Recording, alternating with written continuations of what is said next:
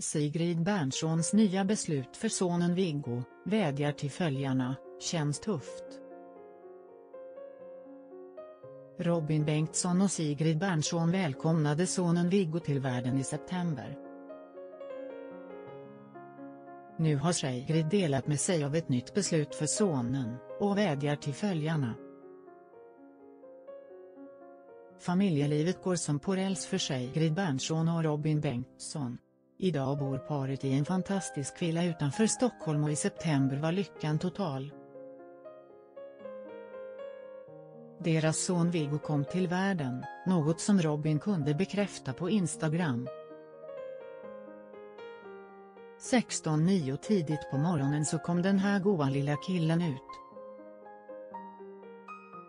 Vi är ju såklart tokkära i honom redan och hemma väntar en väldigt nöjd och mallig storebrorsa. Tacksamma och fyllda av kärlek, skrev han då. Varannan vecka bor även Robins son Ville med dem. Robin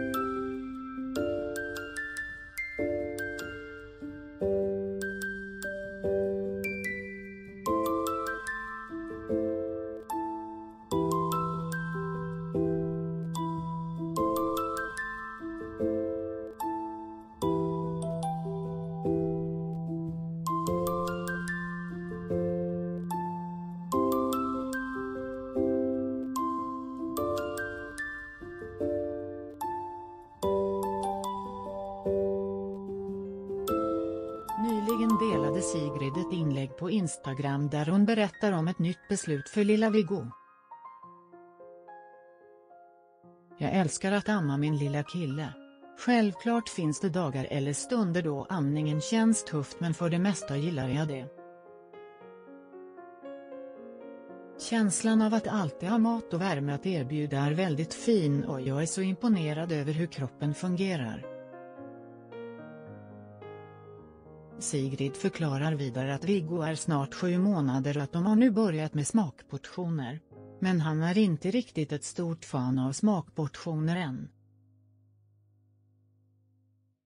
Ibland tar mjölken i tuttarna slut och då får han ersättning. Han har tagit flaska från start både med pumpad mjölk och ersättning, så det har varit enkelt för Robin att mata också. Hur länge ammade ni era barn? Jag kommer nog fortsätta försöka ett tag till i alla fall. Jag vill också lägga till att amning är personligt, finns inga rätt eller fel. Vi gör alla vårt bästa för de små, avslutar hon med. Flera följare har kommenterat Sigrids bild och kommer med sina egna tankar och upplevelser kring amning.